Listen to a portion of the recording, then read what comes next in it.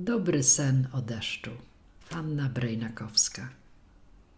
Przychodzi taki czas, kiedy jest nas już tylko dwoje, a może nawet mniej.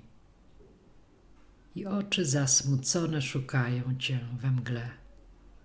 Dzieci szybują gdzieś na dalekim wietrze, w turbulencjach własnych spraw. Jedna czy dwie łzy nie robią już różnicy. A nocą?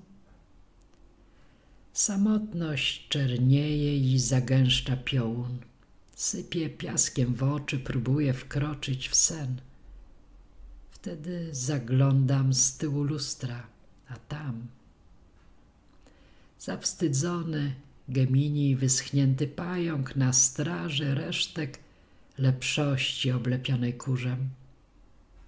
W prawym rogu lustra pada deszcz za oknem. W lewym jakiś cień, może Doriana. Między kroplami dostrzegam postać.